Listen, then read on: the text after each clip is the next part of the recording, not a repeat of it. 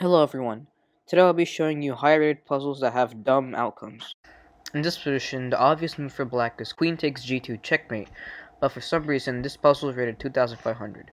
Now we go to the next puzzle where black has a simple mate in 3 after rook to d2 check, king over, rook to d1 check protected by the bishops, and then rook to c1 checkmate.